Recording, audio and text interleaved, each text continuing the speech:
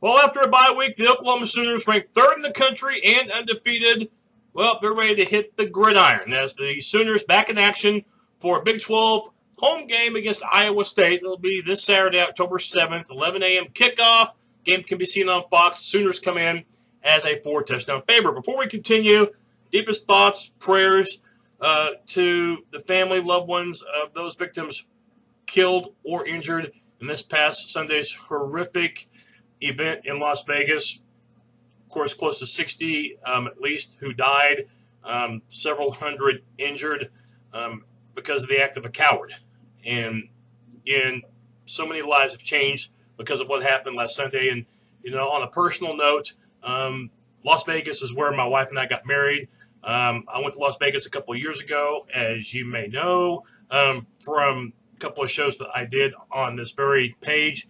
And uh, wife and I have planned on going back to Vegas uh, pretty soon. We're still going to go, by the way. But again, deepest thoughts to all those um, affected by what happened on uh, Sunday. I can't imagine what's going on in their world right now. Now, making the difficult segue to football. Again, we mentioned that the Sooners coming off a bye week. And if this year is any indication from last year, hey, Crown Oklahoma the national champions.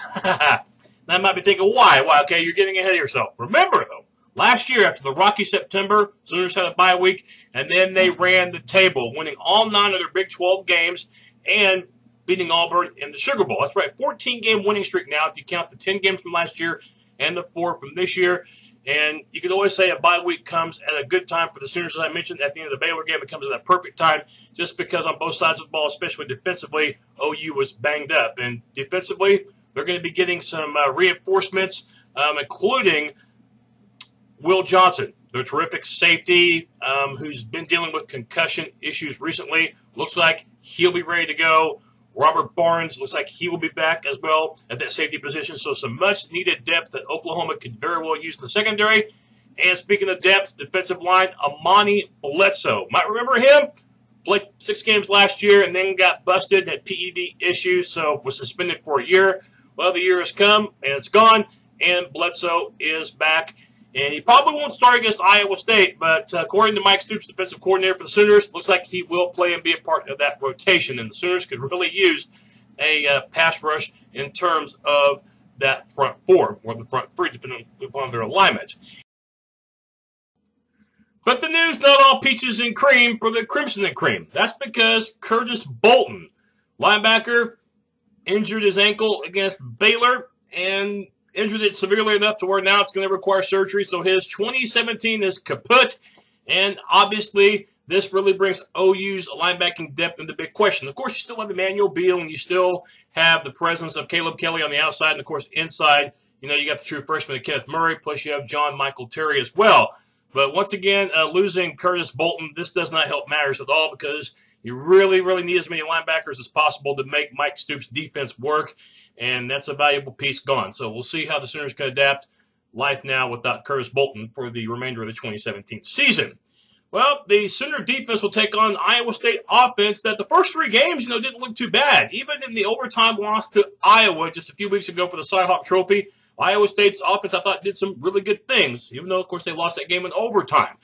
But this past week, uh, yeah, that Thursday night game against Texas, and what I thought at times was just an unwatchable ball game with Texas winning 17-7. Um, Iowa State's offense, uh, you could tell just how successful it can be when the running game is on target. David Montgomery, you know, he's averaging five and a half yards a carry. However, only touched the ball nine times in the loss to Texas. And again, you got to give Texas credit, too, for the way that they've been playing since that awful defensive performance against Maryland, and Texas has looked like a different team, and you could easily say that they should have beat USC. And Texas literally shut Iowa State down. As a matter of fact, um, Iowa State had a big time off balance as far as the pass to run ratio. In fact, um, the quarterback for Iowa State, Jacob Park, ended up throwing the ball 48 times in the game. That's right, 48 as the Cyclones, um, you know, virtually abandoned that running attack in the second half, and it really was not the answer. You know, Park threw it 48 times, only completed 23 passes, and had some interceptions. As a matter of fact, Iowa State had at least three turnovers in that game, and for the most part, the Cyclone offense was stymied. Um, their only touchdown drive was because of a poor Texas punt. It gave Iowa State incredible field position in Texas territory. Cyclones took advantage of that, but not much else of anything else. And I think the big thing for the Sooner defense, you got to be able to force third and long. That's what Texas was able to do. Iowa State in the game, 3 of 12 on third down conversions and 0 of 2 on fourth down conversions for a combined 3 of 14 on third and fourth down tries. A game like this, Iowa State, uh, tr- trust you me, they will get back to trying to make that ground game work. Again, David Montgomery so far has been their most productive offensive weapon, even though I know that they still have that terrific all Big 12 receiver in Allen Lazard. But so far it's been Montgomery, and at times Jacob Park has really stuck up to join his quarterback.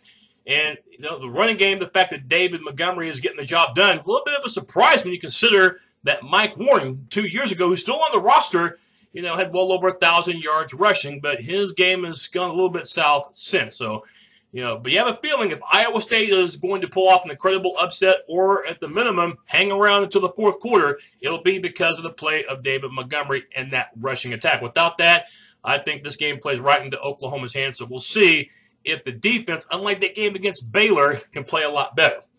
Looking at um, Oklahoma in terms of the offense, hey, got to remember Saturday, could be a very wet Saturday. They're, I think, calling for 60 or 70% chance of rain. Early morning kickoff. Expect a wet field. Obviously, expect a very wet pigskin. So the Sooners, uh, in terms of ball protection, now more than ever with inclement weather expected to arrive this weekend in Norman. Sooners really, really got to protect that ball. And I would expect that the ground game will be more of a foundation if the weather is going to be as wet as we think it is. So we'll see if once again, the start of Abdul Adams in the first half and the second half with Trey Sermon being able to maybe provide that final kick, if that will be enough for the Sooners. And I have a feeling that offensively should be a good game for this team, even though Joel Lanning of Iowa State has made that conversion from quarterback to now linebacker, had 20 stops. Bottom line is, I don't think Iowa State poses much of an offensive threat. You can say the same thing about Baylor, but I think with the off week and with the fact the Sooners have healed up a little bit, and I think have really made some adjustments defensively, and plus you're getting Johnson as well as Barnes back in the secondary. This should be an improved performance for the Sooners defensively, and I think again the Sooners, I believe, will get the job done by majority wise running the ball against Iowa State. There's a big reason why Oklahoma's a 28 point favorite, and I think they get back on track and extend it to a 15 game winning streak. Got to remember the Cyclones only had 264 yards of total offense against Texas. Final thoughts on this game? Well, I pretty much just gave them to you. I mean, the Sooners should be in the driver's seat in this game. It may not be a pretty game because of the weather. And again, Baker Mayfield may not throw for 300 yards in this game, but I don't think that's going to be a prerequisite to win. I've got the Sooners winning 42 to 13. I think they do cover that 28 point spread, but barely. And of course, next week, get ready for the Texas Longhorns. But OU knows that they cannot look ahead to Texas, and I don't think they will, not with the bye week and not with the fact that Oklahoma, after that lackluster performance against Baylor, does have something to prove. Keep in mind that I will have my post-game show um, late Saturday afternoon or early Saturday evening. I'll try to get it on right after the game, but can't make any guarantees, but it will be on sometime uh, late Saturday afternoon or early Saturday evening at the latest.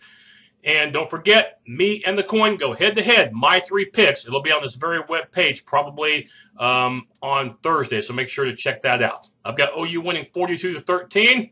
Boomer Sooner.